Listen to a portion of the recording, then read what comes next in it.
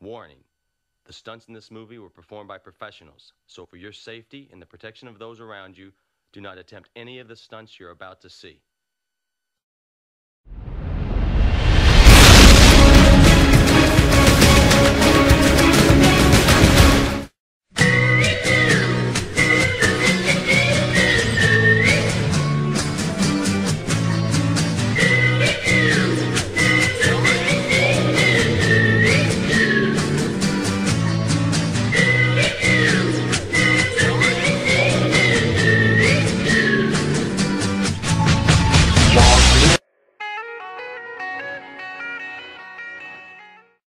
Habang binobomba ng Estados Unidos ang Vietnam noong Vietnam War at dalawang taon nang nakaupo si Ferdinand Marcos bilang Pangulo ng Pilipinas bago mamatay si Martin Luther King Jr. Ang kanta na Hey Jude ng Beatles na number 1 sa Billboard at 3.556 billion pa lang ang populasyon sa mundo ay nabuo ang National College of Business and Arts sa Maynila sa kanto ng Arpapa at Lepanto Street sa gitna ng naglalakihang universidad tulad ng University of the East at Far Eastern University or FEU.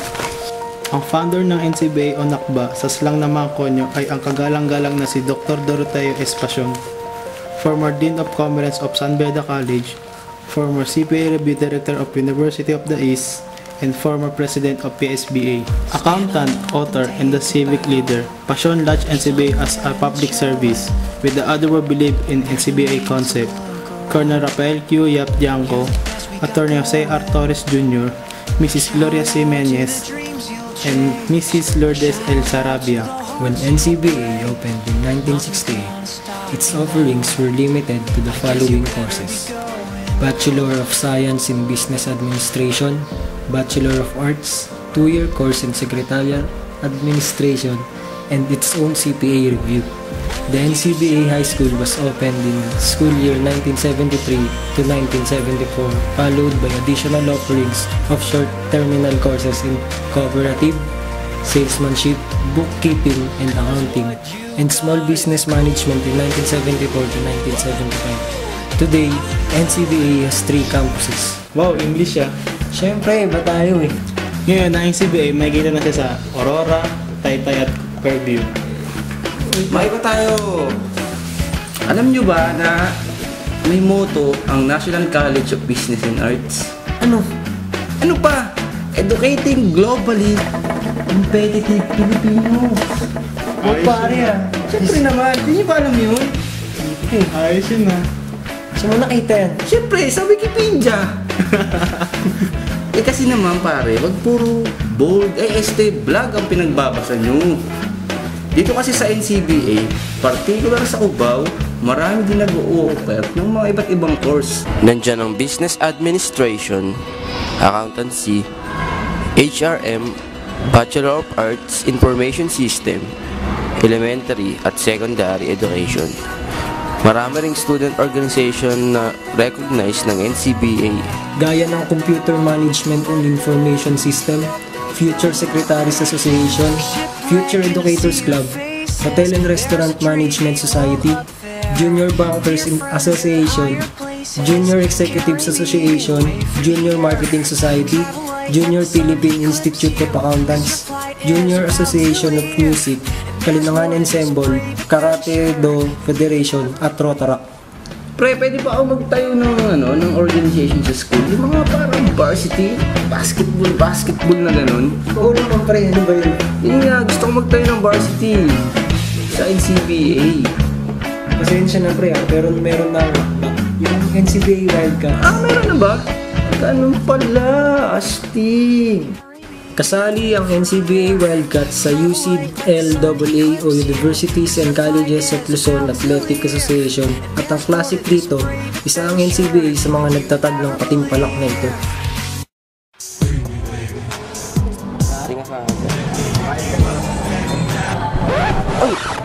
Sige alis ka na muna. Mag-ano pa ako. Bye-bye. Text kita ah.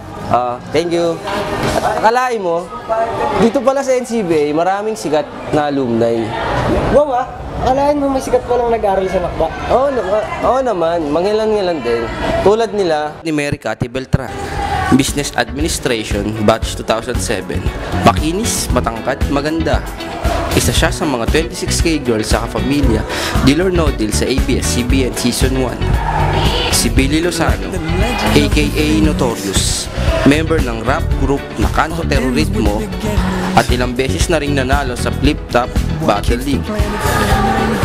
Isang ligang sikat sa mga kabataan ngayon, labanan ng mga basag na berso. Itong laban na to ay para anakin niyang pinatulpo. Kasi nilaglag ka sa aking bitag! At ang kinababaliwan ng lahat ng kababaihan. Ilang beses iniyakan ng aking magulang dahil muntik mamatay sa walang hanggan.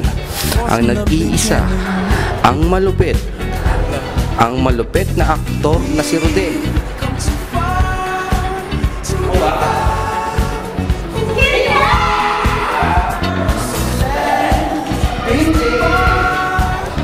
Si Rodel Luis Nashanseno aka Coco Martin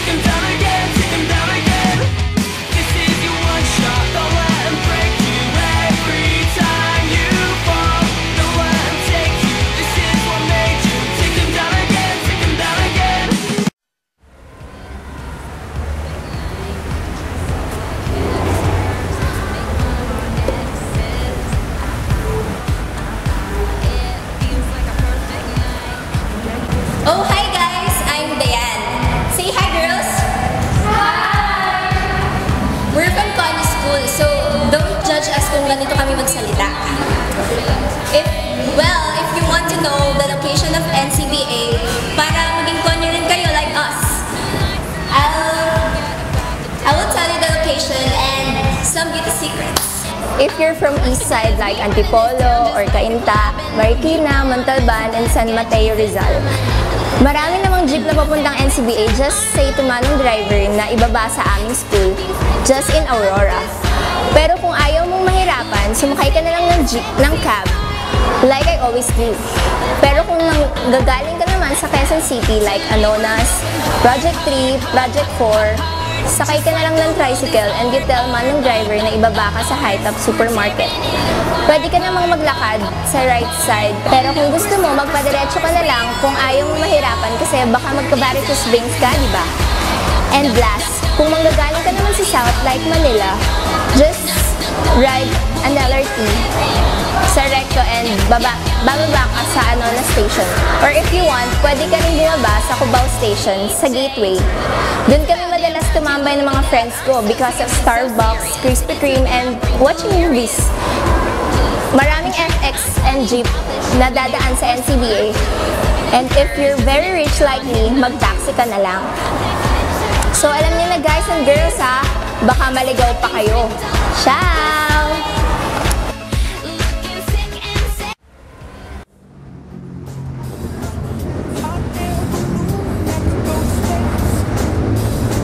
Mga classmates, alam nyo bang hindi lang sa Wikipedia, internet at tiles makikita ang ating alma mater? Ilang beses na rin ito na ipapalabas sa mga pelikula at pati sa mga telebisyon. Magmula sa magpakailanman ng GMA7, ilang beses namin ito pinakita sa Maalala Mo Kaya ng ABS-CBN.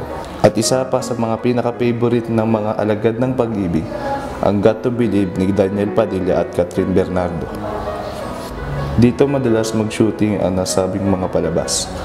Nakakataba ng puso na makita ang ating eskwelahan. At syempre, hindi lang pang TV, pang big screen na rin. Kamakailan, nagtampok ang ating paaralan sa pelikulang ng Star Cinema na, aba, nakakabasa na pala ako. Isang sikat na libro ng pumosong manunulat na si Bob Ong na pinagbibidahan ni Jericho Rosales, Badolf Quezon at Andy Eigenman.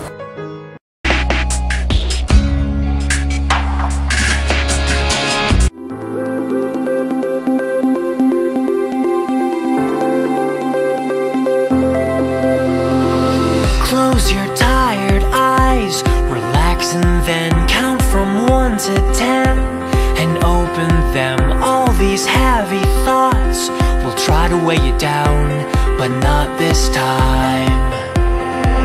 Way up in the air, you're finally free, and you can stay up there, right next to me. All this gravity will try to pull you down, but not this time. When the sun goes down and the lights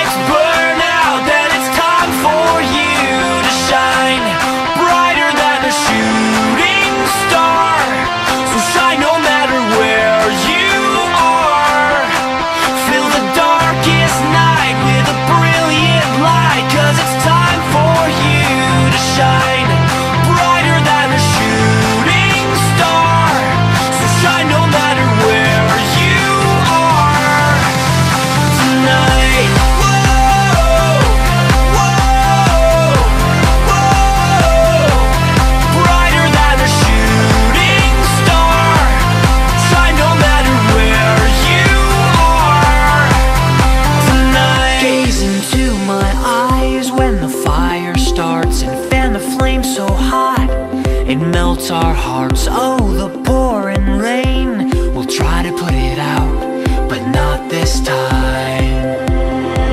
Let your colors burn and brightly burst into a million sparks that all disperse and illuminate a world that'll try to bring you down, but not this time.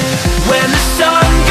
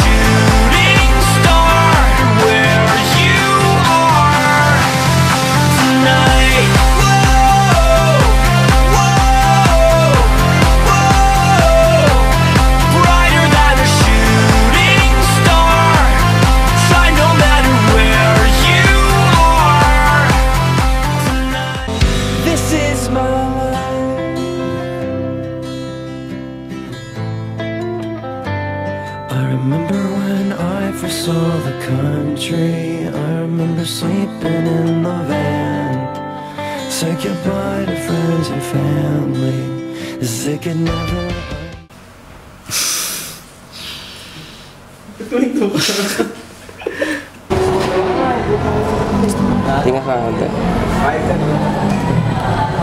Uy! Sige, alis ka na muna. Mag-ano pa ako. Bye-bye. Text kita ah. Ah, thank you.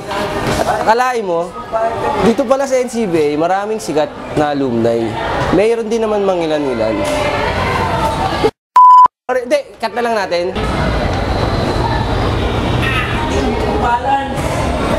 Okay, ano sasabihin namin? Bobo, University Days, FEU. Wills, may akong team niya. Eh, ano, galit daw si Sir? Bakit? Bakit galit si Sir? Hmm, ano nga sabihin? Nagalit daw. Tanan ka, high blood yun. Ah, ang patigil dito. Oh, pag sa video, maputi. Nakakagawa pa pala. Accountant, author, and the civic leader. Passion launched NCBA as a public service, with the others who believe in NCBA concept. Colonel Rafael Q. Yap Janco, Attorney Jose R. Torres, Jr.,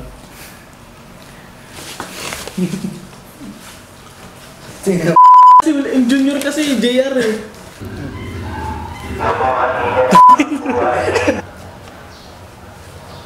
When NCBA opened in 19, 1968, its offerings were ulit-ulit gaya ng Computer Management and Information System o CMIS, Future Secretaries Association or FSA, Future Educators Club o FS, FEC.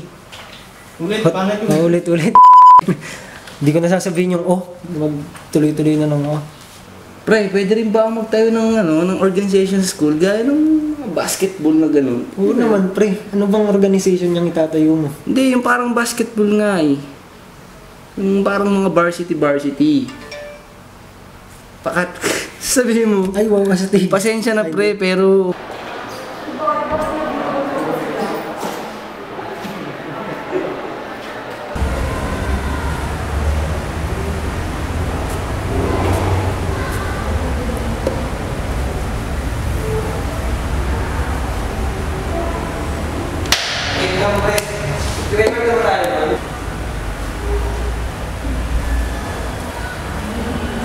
Hi guys! I'm Diane. Say hi girls! Hi! Saan ba dito yun? We're from Konya School. So don't... That... What? Oh, hi guys! I'm Diane. Say hi girls! Hi! We're from Konya School. So don't judge us if we're... Ito, hindi Mga Mariwan. ang ekonomiya ng Pilipinas dahil sa mga stupid na tao. 'Di ba? Dapat kasi yung mga tao, yung mga negative na tao dinidispose. Kasi makakapag-move on pa naman yung buhay mo pag alam mo yun, hindi mo kailangan ng mga taong may ayaw sa'yo. 'Di ba? Kasi in the first place, kung nahahassle sila, mas masakit kasi na kung sasabihin nila, paparamdam nila kaysa sabihin nila. Mas magandang sabihin nila direct, I don't like your f***ing attitude or I, I really don't like you or something like that. At least, may intindihan ko makakapag-adjust ako. word. ba? Yeah. Pero yung ipaparamdam mo, ang sakit nun, ang stupid ng ginagawa mo sa sarili mo, ba? Ang stupid ng ginagawa mo sa sarili mo, tapos you're you're not acting normal. You're acting like a weird You know what you know what I'm saying?